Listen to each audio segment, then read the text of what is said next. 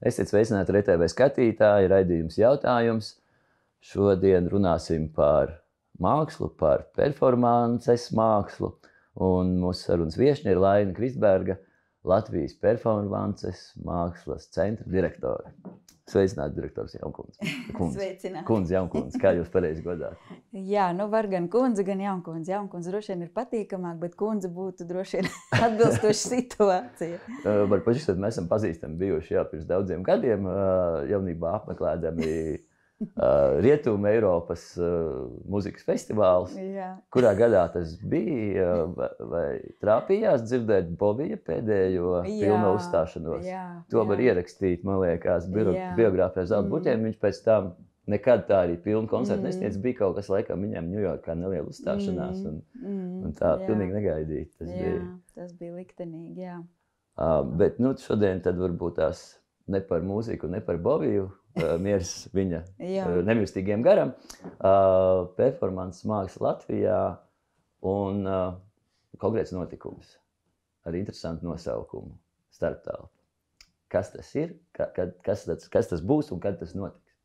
Jā, tieši tā. Nu, um, šajā nedēļā, tātad no piekdienas līdz svētdienai, trīs dienas, trīs dienu garumā notiks šis festivāls. Um, ļoti, protams, tādā hibrīdā, nu, īpatnējā veidā mēs esam arī nedaudz uztraukušies par to, kāda tā norise būs.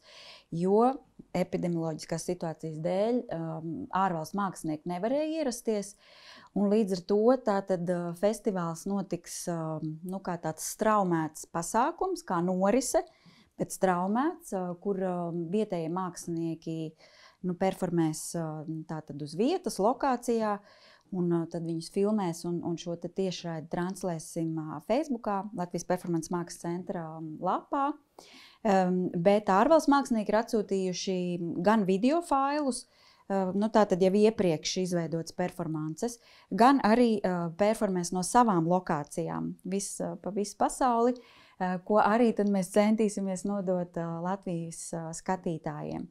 Nu, tāds šogad festivāls būs interesanti, tāpēc ka pirmo reizi mums arī būs tāda pieredze. Bet, bet katrā ziņā jā, nevaram sagaidīt ļoti interesanti darbi. Šī gada tēma, mums katru gadu ir sava tēma. Šī gada tēma ir rituāls un mīts.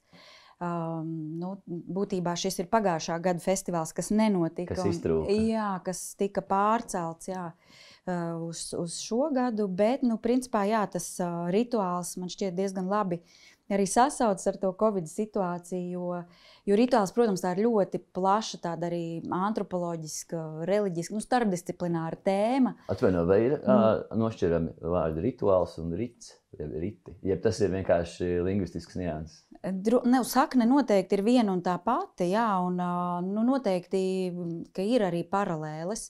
Jo arī nu, angliski tomēr ir arī raids, vai ne? Un, un šie arī ir tie nu, tādi nozīmīgie, nu, tādi transformācijas procesi, kas bieži ir saistīti ar identitātes maiņu, ar statusu maiņu. E, Tā kā noteikti. Gadskārtas, tā skaitā. Jā, jā, jā, un tiešām tur arī nu, līdz ar to tā tēma, protams, sanāk ļoti tāda nu, visaptveroša. Eh, Bet uh, mēs ar kolēģiem runājam, jā, nu, ka Covid uh, apstākļos, Covid situācijā um, tie var būt arī mini rituāli, tie var būt arī mūsu ikdienas rituāli. Es nezinu, kafijas krūze vai. Čeku sadedzināšana. Jā, jā, jā, un tam līdzīgi. Tā Kā, mm, Kā ir ar mītiem? Ir uh, visnotaļ populārs viedoklis par to, ka viss šis ir mīts. Arī mīti, taču arī mēs varam saprast gan burtiskā nozīmē, gan arī, nu, protams, tādā klasiskā filozofijas izpratnē. Um, kur nezinu, mēs varam raudzīties uz grieķu mitoloģiju un tā tālāk. Tā kā tur arī var interpretēt dažādi un spēlēties arī ar, šiem, La, ar šīm vārdu nozīmēm. Jā, un diezgan neapgūts arī. Nu, um, performances uh, mākslas jomā rituāls uh, īstenībā ir ļoti nu, tāda fundamentāla tēma. Par to ļoti daudz mākslinieku reflektē. Um, nu, bet tāpat arī mīts, jā, un, un, un šis simboliskais, metaforiskais slānis. Uh, Latvi, nu, Latvijas kontekstā, domājot par uh, performanci, uh, nu, vieno, viennozīmīgi nāk prātā Andris Grīnbergs. Uh, tur gan laikam arī būtu jānodala par precīzi, kurā brīdī tā ir performance, kurā brīdī tas ir happenings. Vai tu vari pakomentēt mazliet par to pašu terminu. Un, Jā. droši vien, ka laikmatīgā, ja mūsdienu māksla nu, daudz vairāk ir pievērsusies šim lauciņam, inkorporējusi varbūt tās nav vairs retums, ka mākslas darbs kā tāds, kā stāja mākslas vienība, uh, bieži var nepastāvēt, ja to kādā gadījumā aizstāja kuratoru stāstījums par iemesliem, kādēļ tas būtu varējis notikt vai nenotikt, vai jā. par vietu, vai par to kontekstu. Nu, šis postmodernais post pieejams, par ko nu, nereti daudzi uh, vīpsnā vai raudz deguns, varbūt kāda klasicismu piegājiena, pie, nu, bet uh, es pieļauju tāds mans nezinātāji viedoklis, ka galvenais droši vien kritērijs ir tas, vai ir pārdzīvojums, līdzpārdzīvojums, vai skatītājs tiek iesaistīts un vai galu galā kaut kas mainās domāšanā, sajūtās, uztverē. Bet kāds, kāds ir varbūt tas pareizais formulējums? Pareizais. Nu, laikam īsti tāds pareizs jau viens viedoklis nav, jo arī tie teorētiķi, kas pēta šo mākslu, tā kā jā, performance māksla ir vizuālās mākslas disciplīna, bet tā ir tik ļoti sazarota arī uz, uz šīm sociālajām zinātnēm. Uh, tostarp antropoloģiju un, un socioloģiju. Tāpat arī ir iespējams pievienot šos kritiskos diskursus, piemēram, politoloģiju un um, tās pašas dzimtas studijas, tā tālāk. Tas lauks ir ļoti starpdisciplinārs. Līdz ar to mm, ir arī pašiem teorētiķiem domas dalās, jo, jo būtībā man šķiet tas vienojošais, rezumējošais skatījums ir tāds, ka tas ir tāds para, paradigmatisks lauks. Uh, Un tas, tā interpretācija ir atkarīga no tā, kādas mēs tās brilles uzliekam, ar kādu prizmu mēs raudzīsimies uz to darbu. Bet runājot par to terminoloģiju, par happeningu un performances mākslu, jā, tur ir tāda interesanta chronoloģiska attīstība, jo um, tad, kad šis mākslas veids rodas, nu, apmēram 60. gadi, 70. jau ir tāds zenīts. Um, un visā pasaulē tas noteikti tāds globāls fenomens. Ehm, tad uh, figurē ne tikai happenings, figurē arī citi termini - body art un action. Uh, piemēram, Vācijā bija izteiktāks uh, tieši šis mm, akciona, šis te darbības mākslas termins. Uh, un tad tikai kaut kur 70. gada sākumā, man šķiet, apmēram ap 72. gadu, no, nostabilizējās šis jēdziens, ka nē, sauksim šo par performances mākslu. Uh, Un tad, attiecīgi, performance māksla ir tas lielais lietu sarga jēdziens. Un, ja mēs dzirdam visus šos atsevišķos paveidus, tas atbilst šim, šim terminam. Jā, jā vienkārši interesanti arī ar lokāli. performanci, jo no angļu valoda tas ar to apzīmē jebkādu veidu uzstāšanos, vai jā, tā ir mūzika jā, vai ideja. Jā, tieši tā, un arī biznesā uzņēmējdarbība arī ir performance. Jā, tas tā kā sniegums. Snieg, snieg, jā, sniegts, ne, jā, sniegums, jā. Kā, kā, kā tu performē kā darbinieks. Jā. Jā. Eh, bet būtībā no, eh, no tās etimoloģijas viedokļa eh, tas um, vārds no senās angļu valodas nozīmē kaut ko um, izpildīt, apdarināt, um, tā kā nu, jā, sniegt tādu Uz, uzvest, ne, um, arī gluži, uzvest arī kaut kur tur pavīd, jā, bet tas, tas tulkojums ir tāds to, to furnish. Mm. Viņš tāds tā kā, jā, grūti, grūti varbūt Latvijas pateikt, jā, bet tā tad rūpēties par apdari, jā, īstenībā, jā. jā, par apdari, par nobeigumu, par, par tādu, jā, tādu kaut kādu sniegums tur noteikti kaut kur pavīd. Tā kā, jā, tā ir tā, tā terminoloģija, bet ko tu arī pieminēji, jā, par to, ka mainās, protams, arī tā um, uztvere un droši vien arī uh, izpratne un, un domas jā, līdz ar šo postmodernismu, nu, tādu diskursu un domāšanu, kas arī nu, jābūt, jābūt droši vien arī saprotošiem, jo, jo Latvijā postmodernisms nevarēja attīstīties Padomju Savienības nu, šī režīma dēļ. Protams, ka māksliniekiem bija kaut kāda informācija, tā jau nebija, ka arī bija totāls informācijas vakums. Uh, Bet um, nu, tā bija tāda sporādiska, tāda virspusēja informācija. Nebija, nebija iespējams veidot tādu nebija pēctecības, nebija tradīcijas. Nebija pēctecības, un nebija arī nu, šīs iespējas argumentēti, kritiski domāt, reflektēt, uh, rakstīt. Jo tas jau ir arī vajadzīgs, nu, lai zināšanas varētu kaut kā nostiprināties. Un, attiecīgi, arī um, nu, jā, nu, pēc Latvijas neatkarības atjaunošanas tie jau ir 90. gadi Nu, faktiski jā, ir diezgan mazs laiks bijis, lai mēs varētu pieņemt šīs jaunās teorijas un, un tādu pilnīgi citu, varbūt kritisku skatījumu, kas ir tālāks, jā, kā tu teici, tālāks no tās tikai estētiskās izpratnes. Bet no otras puses, piedod, tas laikam gribēju pārtraukt, bet no otras puses, nu, nav jau arī tā, ka ka šie jaunie nu, mākslu veidi, formas, ka tās ir tikai nu, tādas stipri teorētiskas un konceptuālas. Jo, manuprāt, performance māksla ir ļoti arī estētiski baudāma. Jo, jo mm, arī šīs starpdisciplinaritātes dēļ, jo, tā, kā arī tu teici, tas ir piedzīvojums, tā ir līdzpārdzīvojums, pieredze, uh, Un, um, tas, uh, tas var būt arī ļoti spēcīgs estētisks pārdzīvojums. Tam nav jābūt tikai nu, tādam konceptuāli uh, pamatīgam uh, cik, darbam. Cik svarīgs ir uh, vēstījums, vai tie var būt nu, arī abstrakti darbi? Jā, protams, protams. Vai tur ir svarīgi priekšzināšanas un, un kāda, jā, kāda sagatavotība vajadzīga skatītājiem? Skatītājam nav būtībā vajadzīga nekāda mm, nu, sagatavotība. Nu, ja vien, protams, jā, tur mm, varbūt ir iepriekš jāpabrīdina, ja ir radikāla estētika, ar ko arī mākslinieki mēdz strādāt, nu, tad eh, varbūt ir jāpabrīdina, jā, ka būs mm, nu, kaut kādas varbūt radikālas izpausmes mākslas darbā. Bet priecīgi... Kaili nenosakāma dzimuma, cilvēki pīpēs Jā, kailums, kailums noteikti figurē, bet arī kailums ir nu, vizuālās mākslas sastāvdaļa bijusi jau nu, kopš seniem laikiem. Vienkārši nu, kailums vienmēr ir arī bijis tāds ar tabū apvīta tēma, lai kā mēs to interpretētu. Pat ja tas ir mākslas rāmis, nu, bieži vien tas tomēr tiek uzskatīts par totalitāros režīmos, kā, kā daždien tas pienākās nu, tabū ir bijis tas, kas ir bijis bremzēts. Uh, es kāpēc nāk atmiņā uzreiz 90. gados, ja nemaldos, bija uh, universāla veikala centrs, tagad saucās pēdējā stāvā laikam performance, kur Krievijas mākslinieks Kuļiks tēloja suni laikam, vai kā tur toreiz bija. Tur bija tāda nianses laikam, kad bija uh, sagatavošanas procesā kļūda kaut kāda, un viņš vienā brīdī uzvar to knābi un, un cenšas pārsist stiklu, uh, Un stikls bija nevis 2 vai 3 mm, bet kaut kāds divreiz biezāks. Un, uh, nu, viņš nemitējās. Toreiz nu, tā visur šķīda asins. Es klāt nebiju, bet atsliecinieki stāstījuši, ka lielākā daļa publikas uh, uztver to, ka tam tā jābūt. Līdz pat, nu, tad, kad jau bija ātrā palīdzība, braukusi viņa aizvedusi tā arī nu, ne, nepalika īsti. Ne, nesākās panika nevienā brīdī. Ja? Jā, jā, jā. Es um, piedzīvoju arī pats, pats ne, ne. nepiedzīvoju. Jo man um, studente maģistrantūras kursā stāstīja par šo performanci, kurā viņa pati arī bija klāta.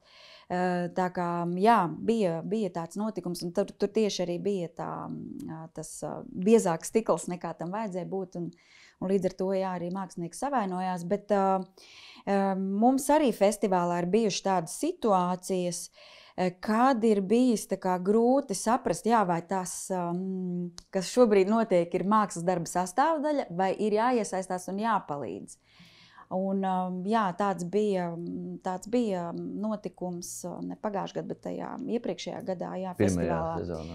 Nu, otrais, tas bija Aha. otrais festivāls, jā, kad arī mākslinieki performēja. Uh, Un, uh, tur bija izveidota tāda instalācija no tādiem atkritumiem. Tur bija tādas mašīnu riepas un, un, un visādi nu, objekti, tādi nu, tiešām tāda tā kā atkrituma kaudze, uh, kurā tas mākslinieks arī pats kļuva ja, par, par to atkritumu. Nu, tur bija uh, ļoti politisks vēstījums, uh, tie bija Baltkrievijas mākslinieki. Un, jā, un viņš sapiņķerējās šajos atkritumos un, un, un, un riepās. Un, un mēs, kā skatītāji, jā, ir ļoti grūti saprast, vai ir jāsteidzas palīgā, vai tā ir daļa no mākslas darba. Bet arī uh, citi mākslinieki vienkārši iesaistījās. Un tas arī ir tas performance mākslas viens no principiem, uh, ka skatītājs iesaistās, ka ir šis te, princips. Protams, dažkārt ir ļoti nu, pragmatisks, ja tas tā, tā norise, ka ir iedots piemēram instrukcijas, un tu kā skatītājs jau zini, nu, ka tev būs jādara tas un tas, vai, vai no tevis kaut kas tiek ekspektēts. Bet ir situācijas, jā, ka tu nesaproti līdz galam, vai, vai ir jāiesaistās vai nē. Bet jā, arī mūsu festivālā toreiz mākslinieki iesaistījās un izvilka ārā šo Baltkrievu mākslinieku. Šī iesaiste, nu, tas paredz kaut kādā mērā arī improvizācijas elementu. Jā, noteikti, noteikti. Jā, ir tas. Nu, tā arī bija viena no burvībā, burvībām, jā, kad, kad tu kā mākslinieks un arī kā skatītājs, nu, tev paliek arī tāda nezināmā teritorija, kur tu nezini, kas notiks. Uh, Un tā tieši ir tā performance māksla, ka tu neparedzi līdz galam. Kaut vai arī, ja tev ir tās instrukcijas vai, vai nu, teiksim, kaut kāds nu, scenārijs tādā, nu, kaut kādā skeleta veidolā, mm, tāpat tev paliek diezgan liels iespējas tai, tai terra incognita, ko tu nezini, kas notiks. Um, nu, jā, mēs ierunājamies jau par Andru Grīmbergu, varbūt tas, pie šī personāža mēs vēl atgriezīsimies, bet, nu, skatoties to garo padomu laiku, skaidrs, tad bija stipri nelabvēlīgi apstākļi, daudz dažādu ierobežojumu, nebija tādas brīvas izpausmes.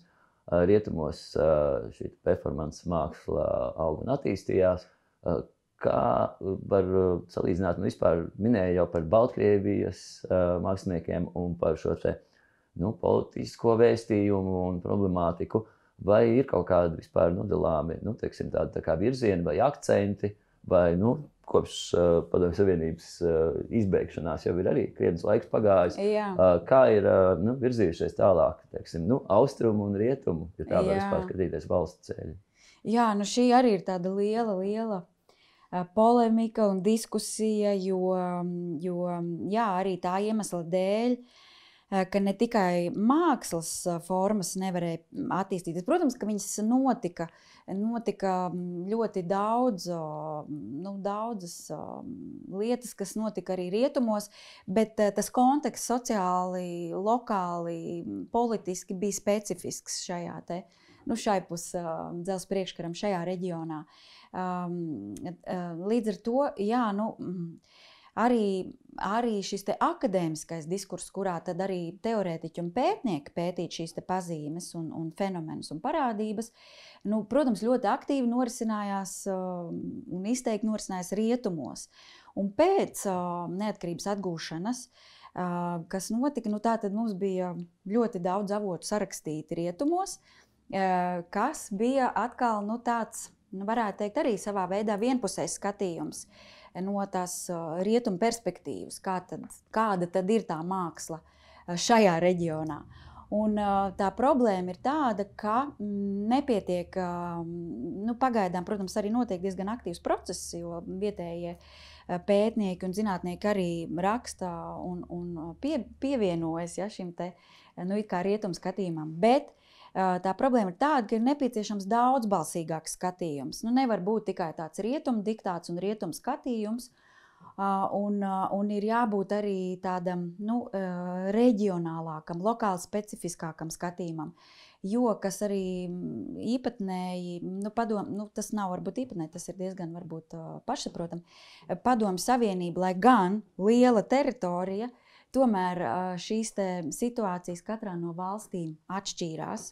Līdz ar to mēs arī nevaram runāt par visu Padomu Savienību kopumā, ka lūk, visā Padomu Savienībā bija tāda un tāda performance māksla. Mums tiešām ir jārunā konkrēti par katru valsti atsevišķi, jo mm, tas, tās izpausmes atšķīrās, bija atkarīgs arī no tā, cik tuvu tā valsts atradās Maskavai un attiecīgi arī kontrolēja un, un visam šim te uh, panoptiskajam mehānismam.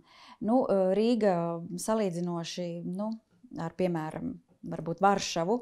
Uh, bija diezgan stingri uzraudzīta. Nu, attiecīgi, tās mūsu performances mākslas izpausmes ir vairāk marginālākas. Uh, tas, kas notika, notika, bet tas notika tādā nu, otrajā publiskajā sfērā. Nevis Šaurākos tajā, jā, lokos neizskan savos, savās tādās, līdzekļos. jā, mikro, es mikro pieļauju, ka te arī kaut kādu savu lomu spēlē arī mentalitāte un, uh, un tas stereotips par uh, baltiešiem vai, vai latviešiem kā tādu diezgan rezervēta auditorija. Nu, to redz kaut vai preses konferencēs, kad pienāk jautājumu uzdošanas kārta. Vai, nē, nu, arī, protams, ir koncerti ar stāvošām ovācijām, bet tomēr varbūt tāda rezervētāka lieta. Un, uh, noteikti nevar to nepajautāt par uh, Krievijas eh, kustībām un aktīvistiem, grupu Voina, arī jau pop, popkultūrā izskanējošā pusī rājot.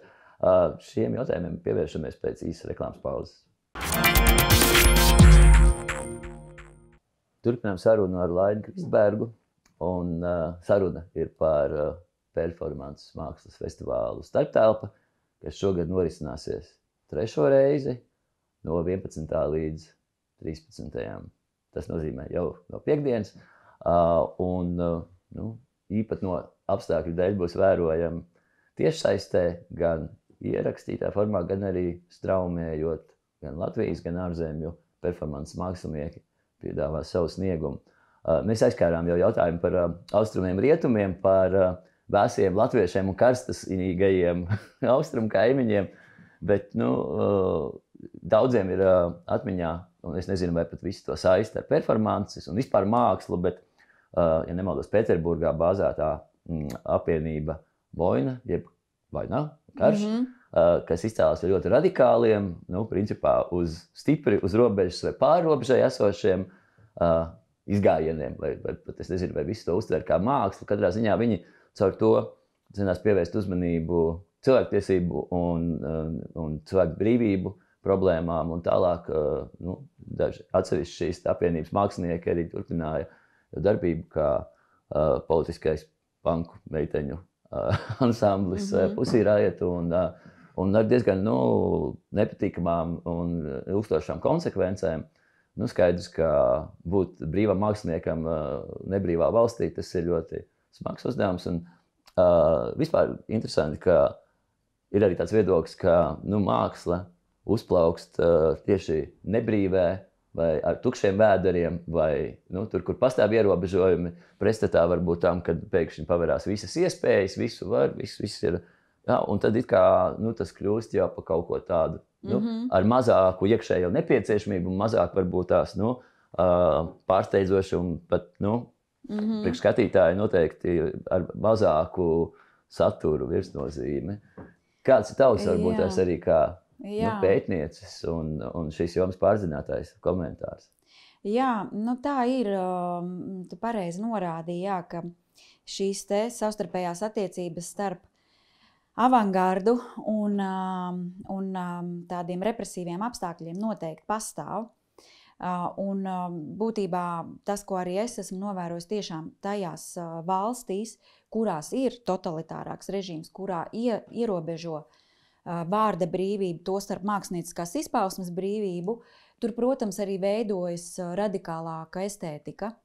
Um, jo mm, nu, tas ir tāds galējs līdzeklis, tāds galēja um, izteiksmes uh, forma, uh, kuru mākslinieks uh, izmanto, lai paustu protestu, lai protestētu uh, pret uh, šo politisko iekārtu, pret uh, cilvēktiesību ierobežošanu. Uh, un tā tālāk. Tā, kā, uh, tā arī es vienmēr saku studentiem, vienmēr nesteidzieties ar nu, tādiem uzreiz vispārinātiem apgalvojumiem par to, ka nu, tas ir tikai kaut kāds šokējošs mākslas darbs. Un, nu, šoks ir šoks, tu nošokējies, aizēji un aizmirsti. Un, jā, tāds mārketings tiešām. Uh, es vienmēr aicinu pievērst uzmanību nu, tam, uh, no kurienes mākslinieks ir, kāds ir šis politisks, sociālais konteksts šajā valstī. Jo tas arī daudz ko pateiks, kāpēc mākslinieks strādā radikālu uh, valodas nu, mākslinieciskiem izteiksmes līdzekļiem. Un, jā, nu, diemžēl tāda, tāda, tāda ir tā situācija. Un, un um, Krievijā jau ir vairāk arī šie mākslinieki, arī Piotrs Pavļenskis, uh, kurš arī pienagloja uh, savas ķermeņa daļas uh, pie, pie bruģa. Uh, Un, Izraisot visai lielu jā, apjukumu, jā, kārtības sargu. Jā, jo kā tad ko, risināt ko šo jā. situāciju, jā, un tam līdzīgi. Uh, un, protams, jā, nu, mums uzreiz liekas, nu, tas nav normāli, vai ne? Nu, tas ir kā, nu, varbūt māksliniekam jau ir psihiskas problēmas. Bet es aicinātu, jā, tomēr nevērtēt uh, nu, tā virspusē, bet tiešām iedziļināties uh, šajā politiskajā situācijā. Uh, Nu, tāpat arī Ķīnā mākslinieks Aivēvēja arī tikpat provokatīvus darbus ir veidojis, bet tas tiešām ir saistāms arī ar to, kā valsts, kā represīvs mehānisms ierobežo mākslinieku. Salīdzinoši, jā, piemēram, ar to Latvijas situāciju, arī totalitārā režīma apstākļos, protams, arī bija šie ierobežojumi un bija arī nu, tāds tomēr baiļu un tāds paranojas tāda atmosfēra. Uh, Jo nu, tās sankcijas un izrēķināšanās ne tikai pret māksliniekiem, protams, arī literātiem un citiem kultūras darbiniekiem. Nu, bija zināms, ka katrā dzīvokļa pusiņā, kur ir septiņi mākslinieki, viens vai divi no viņiem ziņoja. Ja? Tieši tā arī šis moments, jā, jo līdz ko kļuva pieejami šie te, um, nu, um, čekas, tā dēvētās čekas uh, arhīva materiāli, nu, protams, tur parādās kartotēkā daudzi vārdi. Uh, Bet atkal mēs nevaram izdarīt pārsteidzīgus secinājumus, tāpēc ka mēs nezinām lietu būtību. Tas, ka šī kartotēka eksistē, uh, jā, šis cilvēks varbūt tika angažēts, bet mēs nezinām, cik ļoti lielā mērā viņš bija informants un, un kāda un tas bija priekšnoteikums, lai vispār, teiksim, nu, saņemt iespēju izbraukt uz ārzemēm. Arī, un, un arī protams, jā, tādas, tādas mēs arī tā varam spekulēt par atsevišķiem gadījumiem noteikti. Bet nu, atkal tā pārsteidzīgi secināt, ka lūk, nu, tur, tur visi bija aģenti. Nu, bija interesants īsti. moments. Bija arī pateikt. tas brīdis 80. gados, kad uh, nu, bija, no vienas puses bija dzelzceļa priekškars, joprojām no otras puses arī Padomju Savienība vēlējās sev parādīt, ka progresīvu un, un sasniegumu sasniedzošu tātad, sistēmu. Un, un tika veidot pat kaut kādi šie sadarbības tilti. Ja, un, un skaists piemērs ir Hārdijs Ledīņš, kurš nu, būdams vispār arhitekts ja, un pozicionēts kā multimākslinieks, tika no Latvijas puses izvirzīts. Tad izrādījās, ka no Berlīnas puses tur bija pretī bija Bilzēns, tas jau vairāk iegāja mm. tajā nu, uh, mūzikas klubu, klubu kultūras uh, lauciņā. Taču nu, Hārdijs bija mm, arī uh, populārs ar savu gājienu, kas bija uh, mm -hmm. gājiens uz Balderāju, kas Jā. ir uh, vairāk kārt pēc tam atkārtots un godinot Jā. viņu. Uh, vai tas arī iekrīt šajā performances mākslas Noteikti. lauciņā. Tas ir kā happenings, jā. Ja, kur nu, tikai ar jā. pārvietošanos jau tā. Jā, jā, noteikti, noteikti, jā, jo um, Andris Grīnbergs um, ir, ir viens no pionieriem. Būtībā es arī pieskaitu Imantu Lansmani un viņa organizētos karnevālus Rundāls pilī arī performances mākslas izpausmē. Uh, Um, un, un faktiski Imants Lansmans, Antis Grīmbergs uh, vienlaicīgi darbojas. Uh, un vēl bija, vēl bija tās jocīgās uh, binokulārās dēļas, kas, kas bija botāniskā dārzā. Laikam. Jā, bet tas bija saistībā jau ar Hardiju Ledīnu. Jā. Jā, jā, jā. Un, tā ir tāda 70. gadu, tā, tā nu, desmit gadi. Um, un pēc tam jau jā, 80. gadi ir diezgan, diezgan nu, nu, bagātīgi tādā performances mākslas izpausmes ziņā. Uh, Un noteikti, jā, Hārdijs Lediņš ir, ir pieminams kā tāds jau ļoti postmoderniski domājošs, konceptuāli domājošs mākslinieks. Tieši tā viņš arī tāds ar tādu starpdisciplināru skatījumu raudzījās pats būdams mākslinieks, bet arī, protams, tāds konceptuāls domātājs. Un, viņa, viņa šīs performances jau atšķīrās jā, varbūt, no tām 70. gadu performancēm. Humora tāda pārnestās nozīmes. Jā, jā un, un kas vēl ir būtiski, uh, un kas man arī, protams, ir ļoti žēl, um, salīdzinot, piemēram, ar rietumu māksliniekiem, kas nodarbojas ar performanci, viņi arī reflektē, viņi rakstīja par to, ko viņi dara, kāpēc. Nu, tā tad bija šī te, nu, jā, argumentētā kaut kāda tāda, nu, pat ne akadēmiskā, nevienmēr akadēmiskā, bet tāda, nu, reflektīvā tāda joma. Uh, um, kas savukārt mums uh, iztrūkst. Un Hardijs Lediņš būtībā bija vienīgais, uh, nu, nevis vienīgais, bet nu, viens no pirmajiem, Ratais, jā. Jā, ratajiem, kurš arī rakstīja par to. Viņiem, uh, kā, kā mākslas uh, apvienībai, nebijušu sajūtu restorācijas darbnīcai, viņiem pat bija arī tāds nu, traktāts, manifests par aptuveno mākslu. Uh, kas, kas arī faktiski sasaucas ar dažādām rietumu mākslinieku un domātāju teorijām. Uh, Līdz ar to, jā, nu, Hardija Lediņa pienesums noteikti ir, ir ļoti vērtīgs. Pēdējos, jau var teikt, desmitgadēs ir arī tāda parādība novērojama, kas ir zibakcija vai flashmob. Jā. Kā, kā, kas ir ar šo lietu un vai tas arī kaut kādā ziņā korelē ar performances mākslu? Nu, noteikti, noteikti, jo, kā jau es teicu, arī nu, nav uh, performances māksla līdz ar to, ka viņi ir tik starpdisciplināri, nav arī tik izteikta nu, tāda stingra definīcija, kas tad ietilps, kas neietilps. Un var būt arī dažādi šie atvasinājumi vai tādas. Uh, nu, tādas formas, kas, kas ir saistītas nu, vai nu radniecīgi, vai, vai attālināti.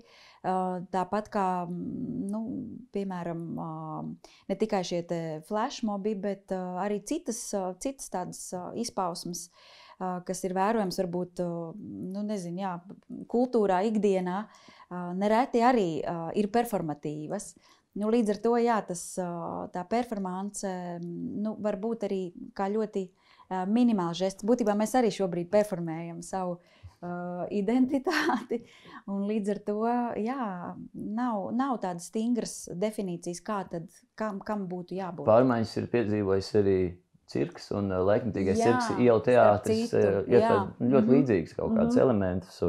Gan tas, ka uzstāšanās mēs notikt uh, pilsētvidē vai nu, jā. netradicionāli, kā skatuve vai, vai arēna. Un, jā. Uh, jā, varbūt tās vēl atgriezīsimies pie notikuma gaidāmā. Un, uh, Pirmais jautājums, jā, kas tur būs? Droši vien nu, uzvārdi nav uz pirmā brīdī atpazīstami ne vietējo, ne ārvalstu mākslinieku, bet apmēram kāds būs tas piedāvājums un, un kā tiks apgūtas šīs tēmas, tātad rituāls un mīti. Jā, mm, mums, kā organizācijai, kas, nu, kas ir kūrējusi un organizējusi šo pasākumu, faktiski tas pirmais impulss, kāpēc mēs vispār izdomājām veidot un organizēt šādu festivālu, bija tas, ka mēs arī organizējam un, un vadām performances mākslas kursus.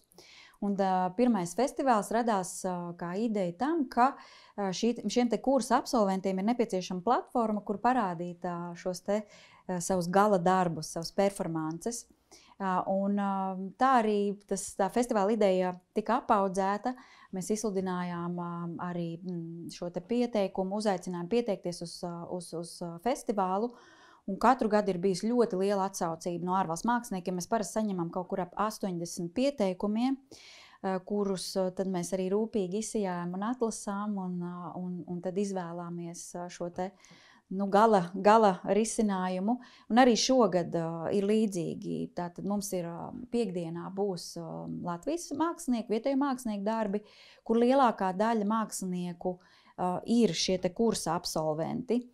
Būs arī, protams, mākslinieki, kas nav saistīti ar kursu, bet jā, šī atklāšanas diena ir kā svētku diena tieši mūsu absolventiem. Un um, atklāšanas performance gan varētu būt jau zināmi vārdi, jo tur uh, piedalīsies uh, tāda mākslinieka Anna Maskava, um, Arvis Kantiševs, kas jau ir ļoti zināms performances mākslinieks, uh, Dāvis Valbaks, uh, kurš ir arī performances kursa absolvents un, un īsnībā pēc uh, pirmās profesijas ir tēlnieks, uh, bet lūk, šeit arī parādās tas starpdisciplinaritātes, jā, tas uh, šī aura. Un, un skaņdarba autors būs Andris Indāns. Kurš noteikti ir arī Anģons. Anģons jā, kurš noteikti ir zināms arī plašākās aprindās, kā, kā tāds ievērams mākslinieks. Lūk, tā būs atklāšanas performance, un tad tālāk jau sekos šie te Varu piebilst, ka viņš arī Itālijā 2004. gadā brauca Mūsu takas krustojās. Jā, jā, jā, tieši tā. Uh, starp citu, Jā, Anģons arī ir bieži sadarbojies ar Katrīnu Neiburgu, kas arī uh, būtībā ir uh, ļoti daudz, nu, neteiksim, viņa nav tāda izteikta performance mākslinieca, bet viņas rokrakstā pavīd, jā, pavīd šīs performance mākslas izpausmes, jo viņa arī ir tāda tomēr antropoloģiski, socioloģiski domājoša mākslinieca. Tā kā jā, arī Anģonim ir bijusi um, saskarsme. Vai tas viss būs tikai uh, tiešsaistes režīmā, vai būs kaut kas, kas būs skatāms, piedzīvojams arī klātienē? Jā, nu, diemžēl tikai tiešsaistes režīmā. Faktiski tā tuvākā publika būsim mēs paši kā organizatori.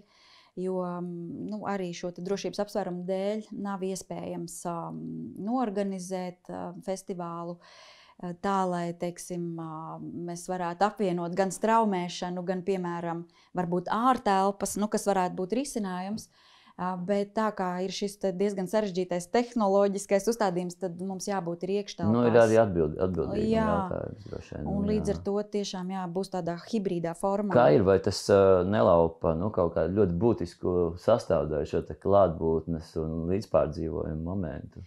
Noteikti, noteikti, jā, tas noteikti nav tas pats, kas piedzīvo to klātienē. Bet arī šis ir tāds uh, milzīgs jautājums, uh, un arī tāds uh, teorētisks jautājums uh, performances mākslas pētnieku vidū par attiecībām starp performances mākslu, kas ir tā dēvētā dzīvā māksla, un uh, par attiecībām starp performance mākslu ar mediju. Tad, jo ekrāns jau jā, ir ieņēmis nu, neaizvietojamu daļu mūsu jā. dzīvēs, un droši vien nu, mm. atkarībā no paudzes, ja ir cilvēki, kuriem varbūt tās vēl ir kaut kāda mm. lielāka inerce, taču nu, es esmu dzirdējis arī, mums arī bijis viesos, teiksim, dāma, kas pasniedz Cigūnu no rīta viņa teica, ka pirm, nu, no rīta, mm -hmm. 7, 8, viņai ir uh, tiešsaistē 70, 80 uh, cilvēki, kuru Jā. tur nav. Jā. Viņa teica, ka nu, pirmajās reizēs esat bijusi pilnīgi tāda jocīga sajūta, ka, ka tā kamera aiz viņas ir siena, ka ne, netiek, uh, mm. nu, ne, nenodrošinās tā atgriezeniskā saikne. Līdzīgi arī stāsta mūziķi vai pasniedzēji, bet viņi teica, ka jau, jau pēc dažām reizēm Tomēr viņa ir kaut kā pieredzinājusies, un pēc tam viņai arī raksta cilvēki, ka viņus uzlādē tas, ka no rīta viņi sāk dienu, un viņa ar savu smaidu un komunicējot ar viņiem, ka ir iespējams arī pārorientēties uz šo te. Ja? Mēs tāpatās ar kaut kādām telefonu, jā. messenger, tiešais zvaniem arī varam nu, būt ļoti tuvu tam, kā tagad mm. mēs mhm. sēžam te un runājam. Jā, jā, protams, protams, un tiešām Covid laiks to ir pierādījis. Uh, nu, pat būtībā pātrinājis to situāciju, kas jau varbūt jau bija pirms tam. Uh, vienkārši mēs esam secinājuši, jā, ka, lai gan virtuāls, tomēr tas ir kontakts. Un, jo sevišķi ziemā, kad tomēr bija arī šī sociālā distancēšanās un, un tāda diezgan izolēt, liela izolētības sajūta. Introverta paradīze. jā, bija svarīgi, ka bija iespēja tomēr satikties kaut vai virtuāli, bet tomēr, daudz konferences mums arī jā, izglītības programmā notika virtuāli. Bet tas nemazināja šo satikšanās prieku. Tā kā jā, būtībā tāda uh, pielāgošanās jautājums, jā, pārorientēšanās jautājums, bet tas ir iespējams. Nu, līdz ar to es ļoti ceru, jā, ka mums tehniski viss notiks tā, kā mēs esam plānojuši, bet ka mums būs iespēja raidīt šo te. Nu, Ja mēs tā ezotēriski runājam, enerģiju un, un, un uh, vibrācijas arī caur ekrānu. Tāda informācija viss ir pamatā rodama Facebook lapā, jā, jā, Latvijas jā, performances. Jā, centra. ir arī, protams, um, šur tur medijos uh, pavi, pavi, pavi, pavizējušas arī um, um, presrelīzes, uh, LSM, uh, tika nopublicēta arī presrelīze. Tā kā informācija ir, um, būs arī radio ieraksti. Uh, Um, tā kā droši vien arī dzirdēs vēl arī, uh, par šo festivālu, bet, um, ja gribas visprecīzāku informāciju iegūt, tad noteikti jā, Latvijas Performance Mākslas centra Facebook profils, uh, kur mēs esam publicējuši arī jau pasākumu programmu. Līdz ar to var apskatīt varbūt jau mākslinieks vai, vai mākslas darbus, kas uzrunā un ko gribētos redzēt. Tad at, ko tu, atliek tikai. Ko tu gribētu izcelt? Varbūt es vai, nu, protams, nebūtu godīgi prasīt, kā saka, jābūt tā, ka visi Jā. bērni mīl, ja, bet vai kaut ko tu pati gaidi vai skaties lielāku nepacietību, varbūt no ārzemju. Jā, ne, nu, um, vēl um, ir tāda interesanta situācija, ka, ja nebūtu noticis uh, Covid uh, un, un uh, visi šie ierobežojumi, tad šī gada tēma mums būtībā būtu bijusi fokusēta uz Japānu un uz Japānas māksliniekiem. Uh, kas nu, nenotika. Uh, bet uh, tomēr mums ir uh, pāris japāņu mākslinieki, kas piedalās festivālā. Un es ļoti gribētu vērst uzmanību tieši uz viņu performancēm. Uh, Jo... Vai būs jebkāda saistība ar uh, dēļu, kuras nosaukums ir četri burti? Vai... Buto? man šķiet, uh, katru gadu ir vismaz viena, viena buto performance, un šogad arī ir buto performance. Tas man liekas ārkārtīgi skaists un aizraujošs pasākums. Jā, jā, bet um, šie divi mākslinieki nestrādās buto tehnikā. Uh, tur, būs, uh, nu, tur būs tāds uh, jā, pārsteidzošs, uh, varbūt pārsteidzošā estetikā un koncepcijā vispār izsināt šie darbi. Uh, Tā kā es gribētu pievērst uzmanību tam, būtībā mums ir arī ļoti daudz mākslinieku šogad no Krievijas, no Baltkrievijas, no Ukrainas, tā kā arī šis reģions ir pārstāvēts. Un, um, jā, kā tu teici, ir diezgan grūti ieteikt kaut ko vienu, jo estētikas un risinājumi ir ļoti atšķirīgi. Un, uh, tas, tā ir arī tā festivāla burvība un arī iespēja uh, ka var redzēt ļoti plašu spektru, kā mākslinieks strādā, par ko viņi domā, par ko viņi runā. Tas varbūt sasaucas ar kādreiz burvīgo populāro kinofestivālu arsenāls, kur varēja iet un galīgi pat iepriekš nezināt, vai to filmu būs iespējams noskatīties līdz beigām un kādas mm. izraisīs dažādās auditorijās tās reakcijas. Vēl noslēgšais jautājums, vai tie pasākumi būs tikai tiešsaistes formā tajā brīdī, kad ir programmā, vai pēc tam saglabāsies arī kā kaut kāds video arhīvu materiāls, un, un cilvēki varēs pēc tam. Jā, jā nu mums, protams, ļoti interesē jautājums par arhīvu veidošanu, jo tā kā performance ir efemēra, gaistoša, pārējoša mākslas forma, tad ir ļoti būtiski, ka saglabājas kaut kāds arhīvu materiāls, vai tās būtu fotografijas vai, vai kustīgs attēls. Kā video, un mēs esam vienojušies ar vairākiem māksliniekiem. Būtībā lielākā daļa mākslinieku uh, ir atzinuši, ka viņi ļaus pēc tam tātad, izmantot šo arhīvu materiālu, ievietot arī mūsu YouTube lapā, kur mēs arī krājam, veidojam šo arhīvu, un arī tāpat mājaslapā. Respektīvi, ka mēs varēsim saglabāt šo arhīvu. Bet ir mākslinieki, kuri tomēr vēl grib strādāt ar šo materiālu un, un izrādīt vēl citos festivālos. Mm, Līdz ar skaidrs, to saprotams. viņi kā, nevēlas, Procesā. jā, vēl ir procesā un, un nevēlas nu, pavisam um, izrādīt. Ok, nu, gaidīsim ar nepacietību. Mm, Tātad uh, starptelpa ir festivāla nosaukums un performances mākslas festivāls uh, ar īpašajām tēmām, rituāls un mīti. Jā, Uh, Latvijā, Rīgā un visā pasaulē, internetos. Paldies, Laina, par sarunu. Sarunājamies ar. Lainu Krisbergu, Latvijas performances mākslas centra direktori. Paldies par uzmanību, visu labu!